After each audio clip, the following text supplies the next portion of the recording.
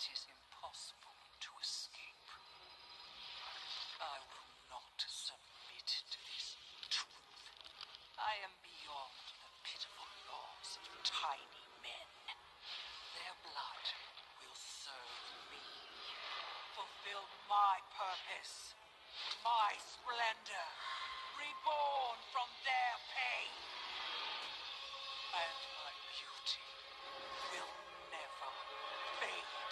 again.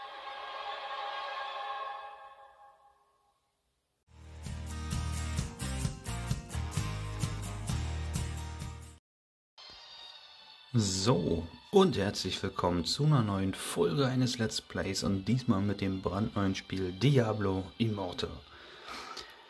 Auch mich hat das Fieber gepackt und ich habe die ganze Zeit mal, ähm, als es rauskam, das ist vor noch einer guten Woche gewesen, angefangen zu spielen. Ich bin als Dämonenjägerin unterwegs, ähm, free to play, also das heißt, ohne dabei Geld ausgegeben zu haben dafür.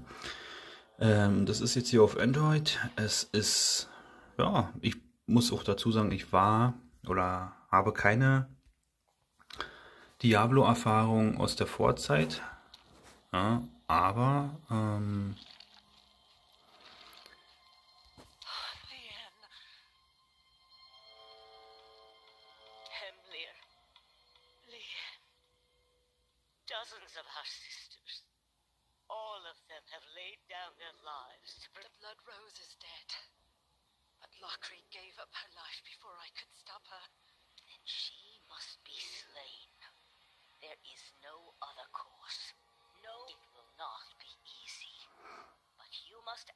as the heroes of Sanctuary did. The magical waypoint here will make your journey faster. so, jetzt geht natürlich nämlich schon sie hoch. Ähm, ist ein bisschen doof. Tut mir leid, aber wie gesagt, wir äh, haben hier gerade die dunkle Rose vernichtet. Das war so ein oh, Boss äh, und sollen jetzt hier offensichtlich einen neuen Wegpunkt wählen, nämlich hierhin. Nach Dunkelwald. So. Ah, hier war ich schon mal. Hier musste ich letztens so runter. Deswegen diesmal hier lang.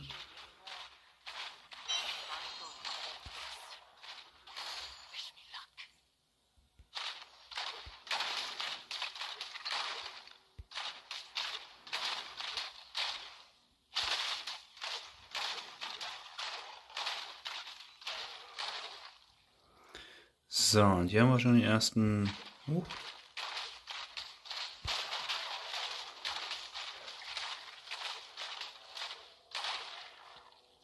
Hier ist der erste Boss.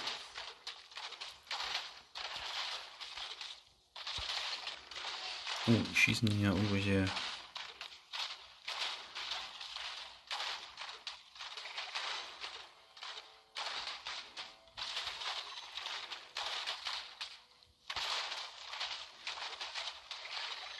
Ja, manchmal lassen die dann auch äh, nämlich Dinge fallen.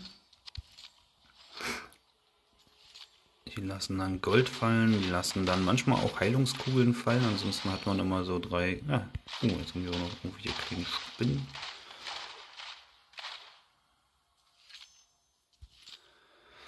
So, dann gucken wir mal, was wir jetzt hier gekriegt haben. Das, was man ähm, hat, wird dann natürlich auch angezeigt als mit einem Pfeil nach oben, wenn es besser ist. So, ich habe ja so viel Zeug gefunden und mein bisheriges Equipment ist besser, deswegen ähm,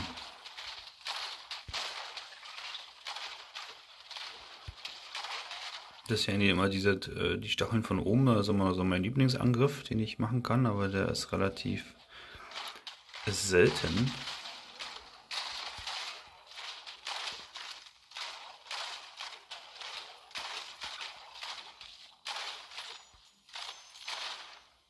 So, Monster Essenz, genau, muss man auch was sammeln für irgendein Bestiarium. Also, was ist das hier eigentlich? Ein Dungeon bestimmt, der vergessene Turm.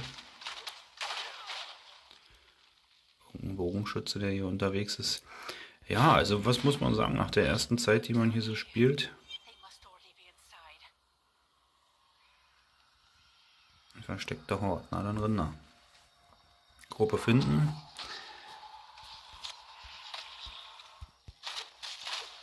Dann kommt natürlich noch heimlich ein Angriff von hinten, das ist dann immer doof.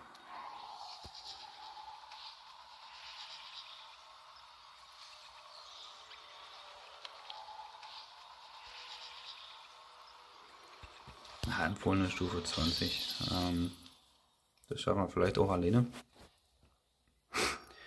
Denn wir sind ja schon Stufe 28.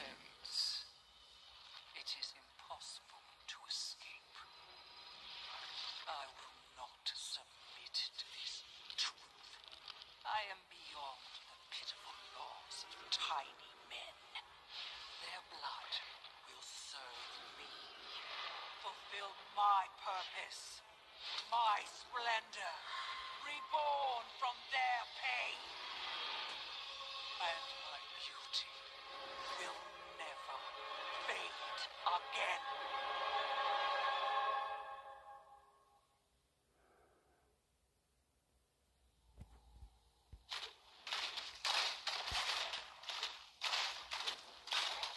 Ja, eine Heilungskugel können wir uns so füllen. Wie gesagt, zwischendurch gibt es auch so eine Zwischensequenzen, die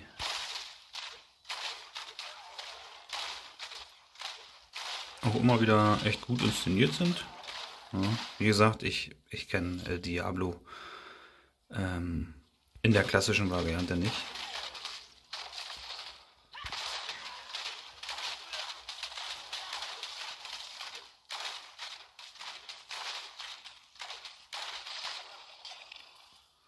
Aber es ähm, macht an der Stelle erstmal wirklich Spaß. Es ist eben Looten. Ja. Man findet Ausrüstung, man findet dann bessere Ausrüstung. Es gibt diverse Klassen. Ich habe mich jetzt hier für die Dämonenjägerin entschieden, die relativ häufig mit ihren Armbrüsten schießt, obwohl ja eigentlich relativ häufig nachgeladen werden müsste, aber gut.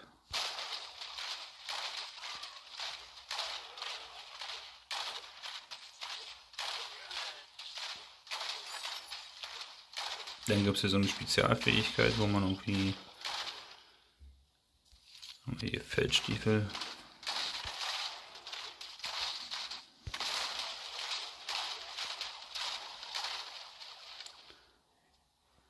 So, wir müssen, können entweder hier lang.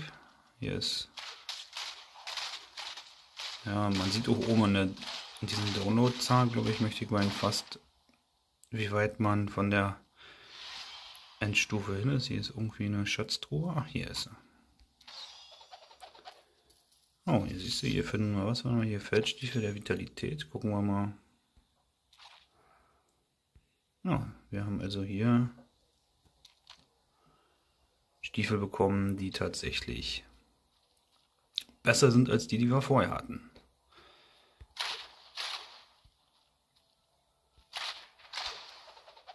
Beutel des Reisenden, dann gibt es nochmal Gold, okay. Oh, noch eine Truhe, auch sehr gut. Flockschleuder der Vitalität, aber ich glaube,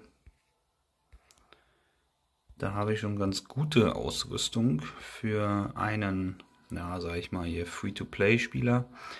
Aber man sieht es, sieht, es sieht grafisch gut aus. Also ich bewerte das jetzt hier mal außerhalb von Diablo 3 Erfahrungen, weil ich wie gesagt keine Erfahrungen diesbezüglich habe.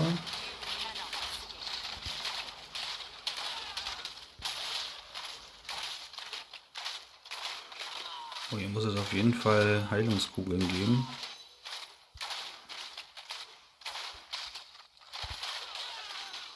Also es wäre zumindest schön.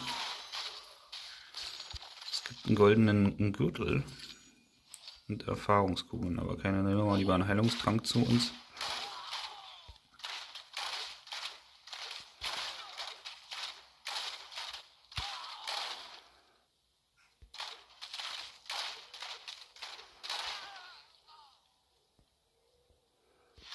Und hier ist der Endboss.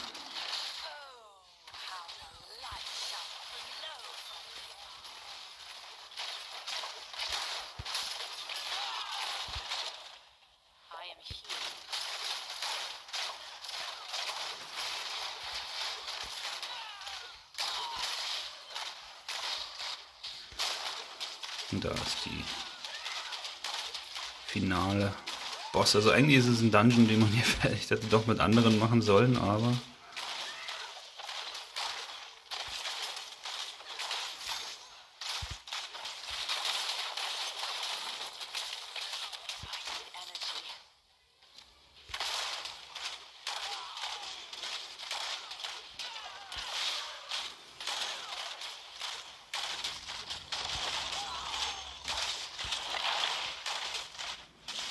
oh, eine Heilungskugel, sehr gut.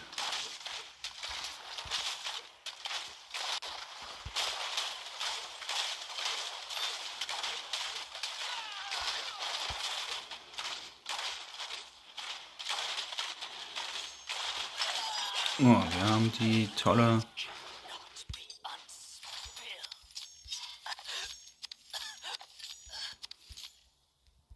Aber es gibt auf jeden Fall jede Menge Loot. Erfahrungskugeln. Hier ist auch nochmal Zeug. Nicht alles ist natürlich ähm, nutzbar und brauchbar. Das ist meistens so. Aber gucken wir mal, ob wir hier noch irgendwo eine Truhe haben, die wir nicht gefunden haben. Nee, sieht nicht so aus. Was haben wir dann hier alles gekriegt?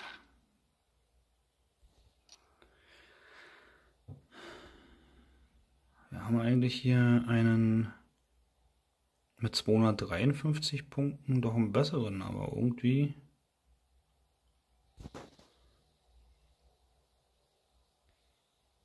Also auf jeden Fall haben wir hier den Handschuh, guck mal, den können wir anlegen, der ist ja auch schon wesentlich besser. Wir haben hier die Mütze, die ist nicht wesentlich besser, aber ein bisschen. Ja, warum war der jetzt hier 253? Der müsste, eigentlich ist der ja an sich etwas besser. Kriegt aber die Stärkeposition 1333, ist nicht so viel, aber wir lassen es mal. So, was gibt's hier?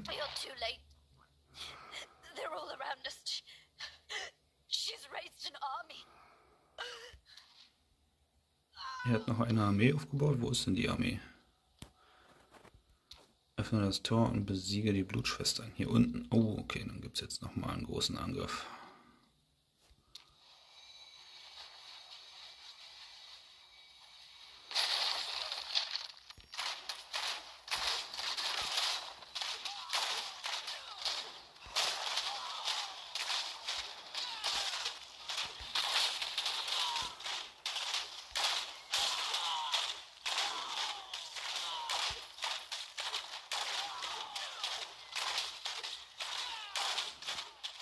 Und welche vorgegebene Zeit irgendwie? Ich sehe doch keine Zeit hier. Ach, eine Minute.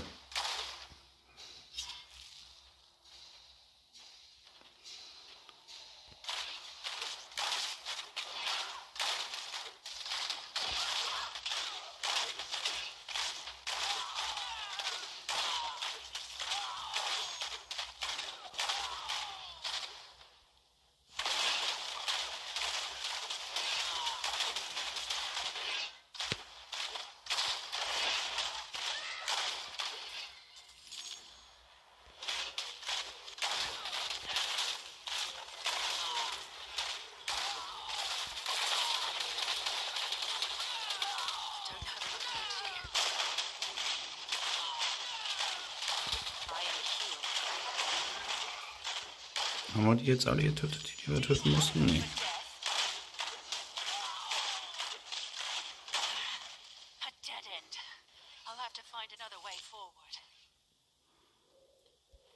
Muss einen anderen Weg durchfinden. Hier geht es offensichtlich nicht durch. Ah.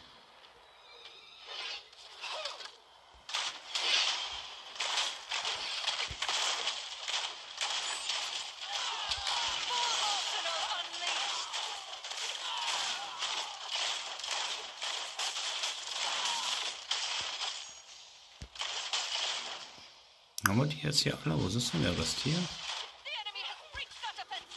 Ah.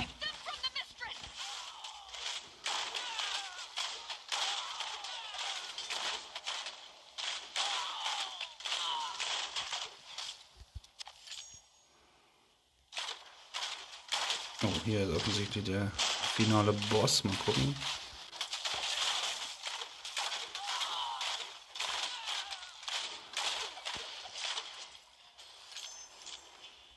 Hm, Immer noch nicht alle. Da müssen hier offensichtlich noch ein paar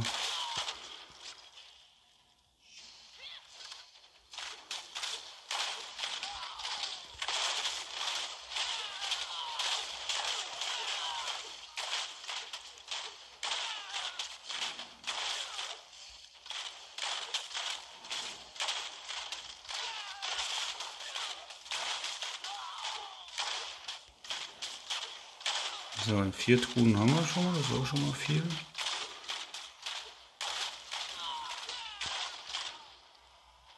Und dann geht es hier bestimmt weiter zu den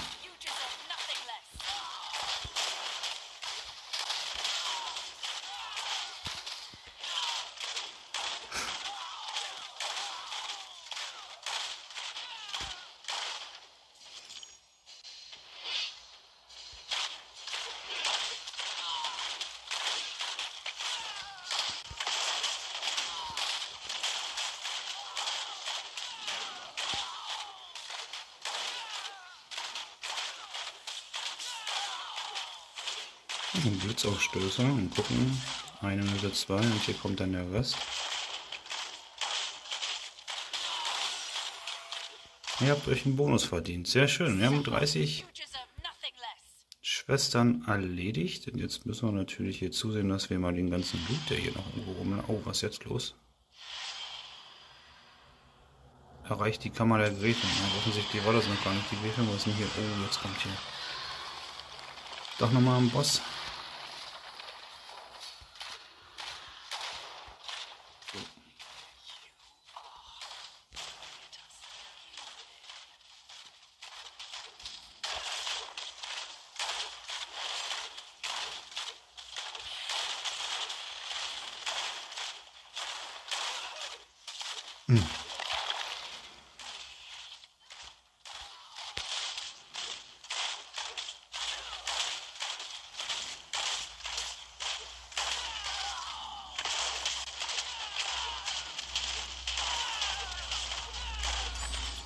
Hunderttausend Gegner. Das ist wirklich irre.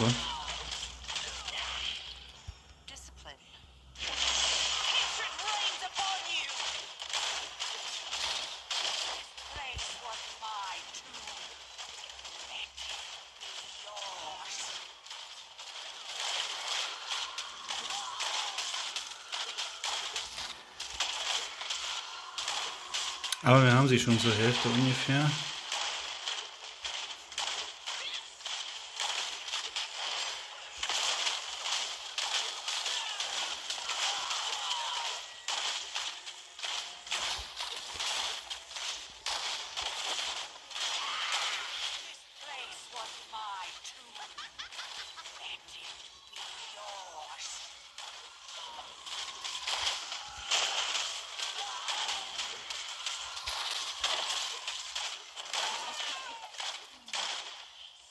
Und haben wir die jetzt schon? Nee, da ist er.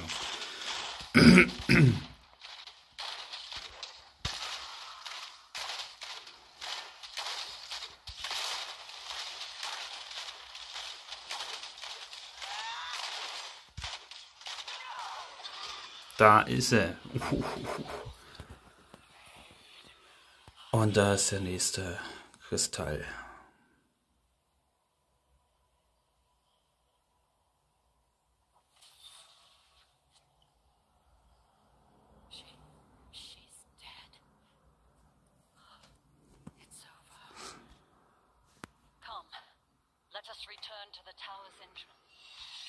So, jetzt haben wir hier erstmal jede Menge Loot. Das kann ich mal so viel überhaupt aufnehmen kann hier.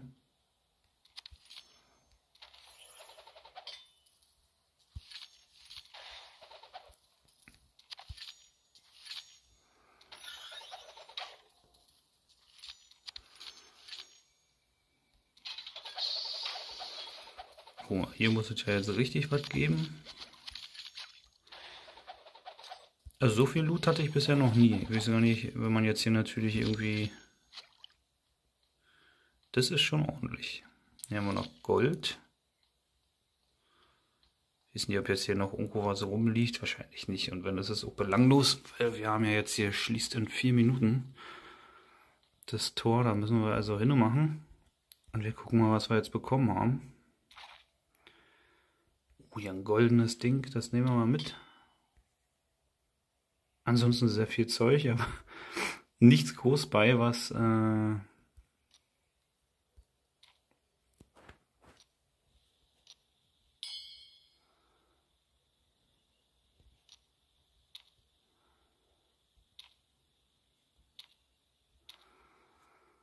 Okay, das heißt, wir haben jetzt hier, wie gesagt, was angelegt. Ähm, jede Menge Stuff gewonnen hier, aber nicht alles nützt uns was. 253, 207, also okay, eine große Schleuder dazu bekommen. Ähm, cool.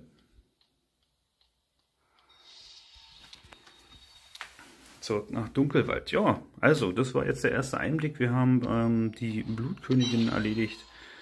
Und ähm,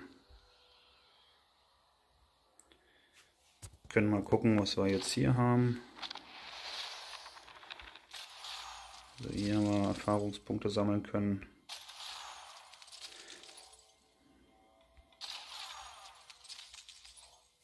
Da sind wir noch bei. Dann haben wir Errungenschaften.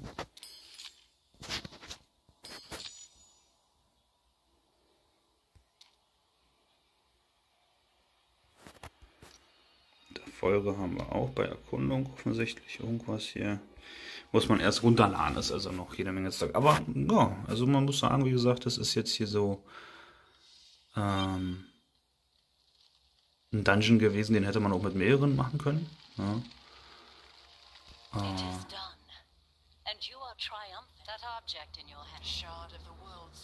ein Weltensteinsplitter, genau. Ja, und so ist es. Also ich kann es erstmal nur empfehlen. Ich werde hier weitere Videos machen. Seid gespannt. Ähm, wir gucken mal. So sehen wir aus hier, genau. Fertigkeiten und so weiter und so fort. Und dazu dann später mehr. Deswegen vielen Dank an der Stelle fürs Zusehen. Bis zum nächsten Mal. Macht's gut. Tschö, tschö. Euer Kingi.